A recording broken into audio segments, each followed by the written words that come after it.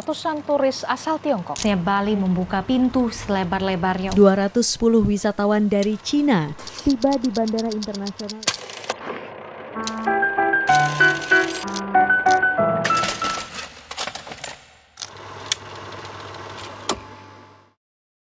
Oke okay guys, pada tanggal 8 Januari lalu, 210 turis Cina terbang perdana ke Bali dengan pesawat charteran dan disambut meriah penuh sukacita setibanya di Bandara Bali dengan pengalungan bunga, tarian tradisional Bali, dan kesenian barongsai. Tidak hanya di Indonesia, hal ini juga terjadi di negara-negara lain, seperti Thailand contohnya, yang menyambut kedatangan turis Cina dengan sukacita juga, dan bahkan tiga menteri Thailand pun ikut menyambut di bandara dengan bunga dan tas hadiah. Transport Minister, Tourism Minister, and Health Minister. Airport after the first commercial flight from China to Thailand. Ini juga terjadi di negara Eropa yang antusias menyambut kembalinya turis Cina. Pertanyaannya kenapa Indonesia, Thailand, negara Eropa bahkan seluruh dunia sangat antusias dengan kembalinya turis Cina setelah pandemi Covid kemarin? So, mari kita cari tahu bersama-sama.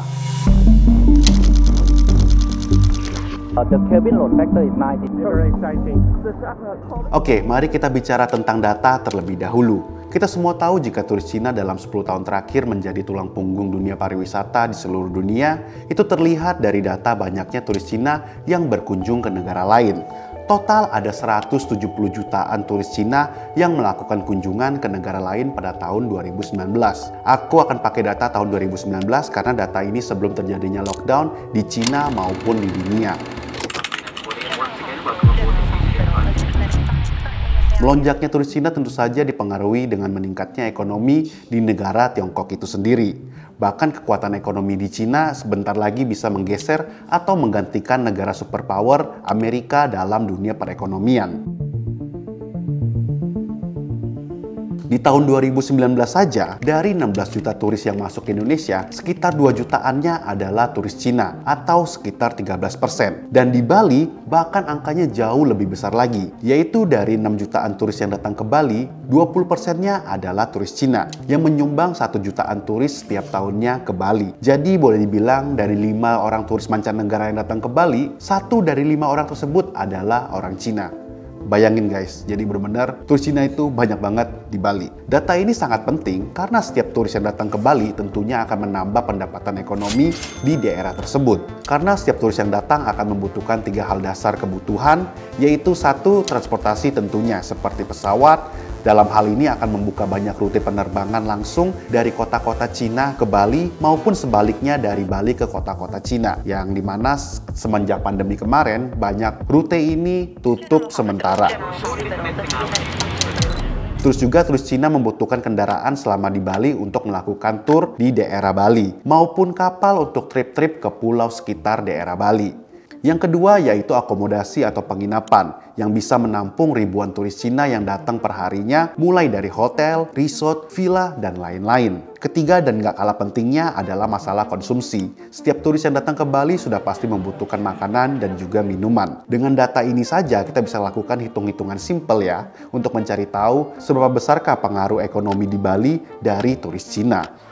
Yeah, happy and relax. Long time no go abroad.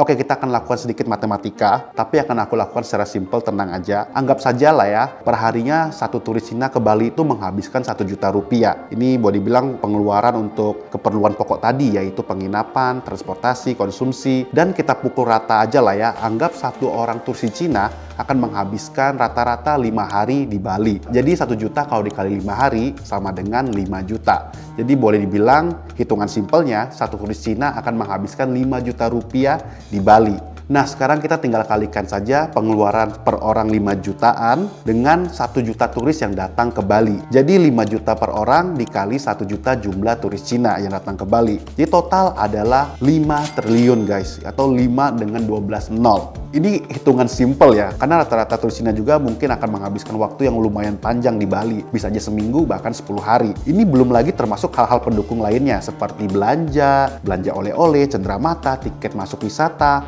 museum, ataupun hiburan lainnya ya. Ini belum termasuk hal-hal tersebut ataupun tips guide, supir, dan lain sebagainya. Angka ini bisa aja menjadi double ataupun triple ya. Ya boleh dibilang bisa mencapai puluhan triliun per tahunnya.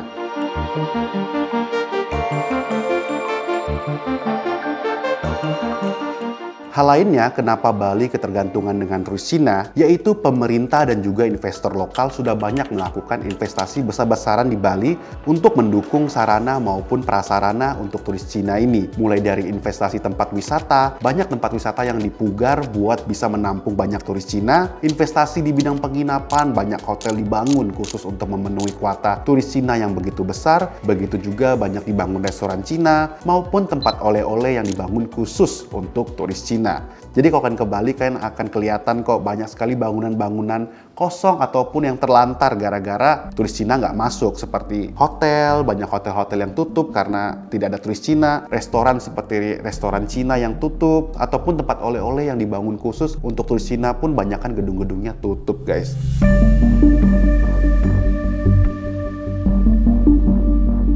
Gue takjub dengan bangunan hotel ini, tapi sayang kenapa ini terbengkalai.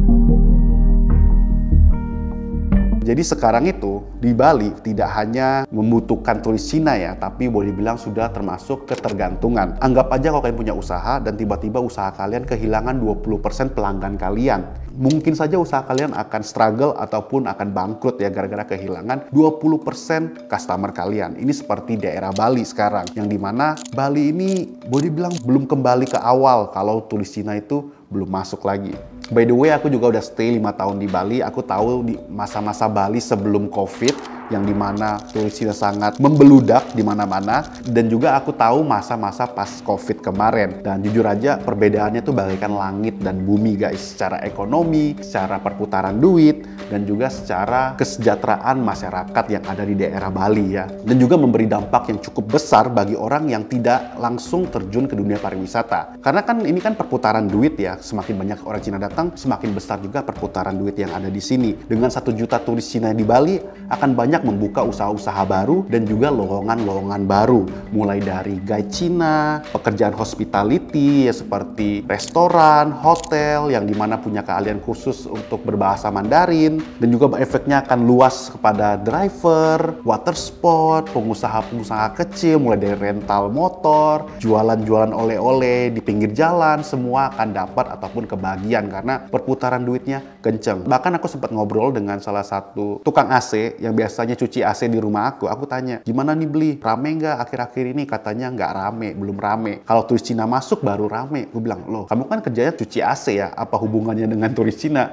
Tapi katanya kalau turis Cina masuk, akan banyak kantor-kantor tour yang akan melakukan cuci AC guys. Dan juga hotel-hotel karena turis Cina masuk akan full rame. Makanya jasa tukang cuci AC ini akan kepake juga. Begitu juga bisnis-bisnis lain ya, walaupun tidak berhubungan dengan pariwisata, mereka akan kebagian dampaknya gitu. Nah, makanya itu boleh dibilang Bali ini tidak hanya membutuhkan ya, tapi juga ketergantungan seperti yang aku bilang karena kita sudah telanjur basa menikmati kenikmatan ketika turis Cina datang dan kita udah membuat banyak sarana, membuka banyak usaha, banyak eh, pekerja-pekerja yang udah dipanggil dengan keahlian khusus untuk meladeni lonjakan turis Cina. Tapi karena turis Cina tiba-tiba nggak ada, banyak orang kehilangan pekerjaan, bisnis-bisnis yang tutup, dan pemerintah lokal maupun Indonesia pun kehilangan revenue-nya yang sangat besar dari turis Cina. Ini nggak cuma terjadi di Indonesia ya, tapi juga terjadi di negara, contohnya negara tetangga kita lah Thailand. Yang di mana Thailand menargetkan tahun ini ada 5 juta turis Cina yang datang ke negara mereka dan juga kemarin aku ke Eropa, contohnya ke Paris. Di Paris sana mereka pun menganggap ini masih belum rame kalau turis Cina belum masuk. Karena di Prancis itu turis terbesar mereka adalah turis Cina. Yang di mana kalau nantinya masuk ke sana, Paris itu akan rame, full, dan bahkan tempat-tempat jualan-jualan branded-brandednya seperti LV, Gucci, Dior, Chanel itu akan full diantri sama turis-turis Cina guys. Hey, mua túi hộ đồng chí Trần Hoàng Anh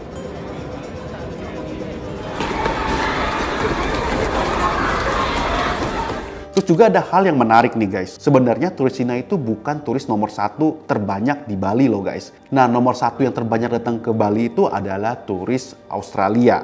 Jumlahnya sebenarnya kurang lebih hampir sama ya. Satu jutaan berapa, cuma beda berapa puluh ribu aja. Tapi kenapa turis Cina lebih diagung-agungkan atau lebih disayang-sayangin ya dibandingkan turis Australia? Karena walaupun turis Australia masuk ke Bali, nggak ada sambut menyambut ataupun excited gitu lah ya. Ini juga dipengaruhi oleh budaya traveling antar kedua negara ini, antara turis Cina maupun Australia. Karena rata-rata turis Cina yang datang ke Bali ini menggunakan tour, sedangkan turis Australia kebanyakan tidak menggunakan tour. Secara ekonomi, turis-turis yang menggunakan tour itu lebih menguntungkan ya, karena mereka punya schedule yang jelas dan mereka akan ke tempat-tempat wisata yang udah di planning gitu. Bisa aja satu hari bisa ke 5 atau 6 spot.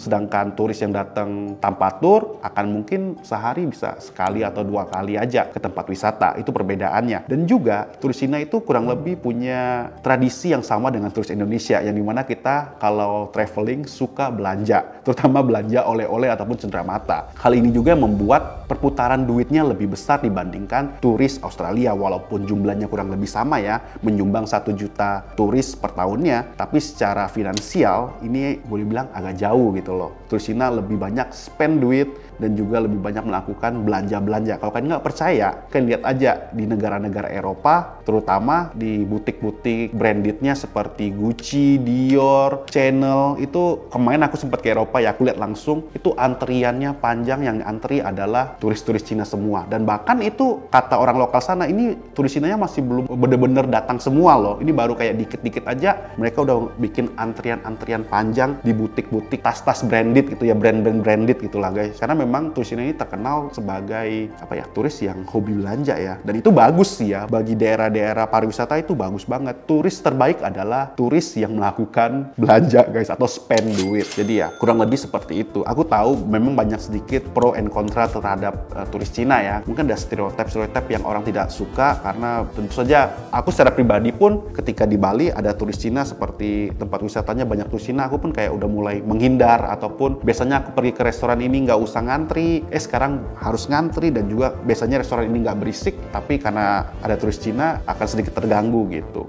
Ya juga sebenarnya sih kurang lebih sama lah ya kayak kita orang Indonesia kalau ke luar negeri ikut tour pun kita pun ditakutin orang karena akan bikin keramaian berisik dan lain sebagainya itu boleh bilang ya kayak pro and kontra. Tapi di lain sisi sebenarnya kayak orang Bali kalau misalnya komplain, wah Bali macet nih, macet-macet. Tapi sebenarnya itu komplain yang baik. Karena kalau macet berarti perputaran duitnya di daerah Bali itu lagi bagus dan juga banyak turis yang datang. Kalau Balinya sepi, memang enak ya untuk kita warga lokal untuk jalan-jalan. Tapi di lain sisi, wah ini bahaya nih kalau sepi kayak gini. Berarti turisnya nggak datang, perputarannya pasti sedikit perputaran duitnya. Dan juga ini Cina belum masuk ya, mungkin dalam bulan-bulan ini awal-awal Februari kayak Cina akan mulai masuk dan di saat itulah Bali akan benar-benar rame lagi dan kembali ke pasca sebelum pandemi. Karena memang turis Cina ini menyumbang sangat besar sekali secara ekonomi. Kita nggak bisa bantah juga walaupun suka nggak suka. Tapi namanya juga ini kan dunia pariwisata. Semua turis yang datang adalah turis yang baik karena menyetor devisa buat negara gitu loh. Oke jangan lupa kalian tulis di kolom komen hal-hal apa lagi yang ingin aku bahas selanjutnya. I'm Ricky Senti bye bye guys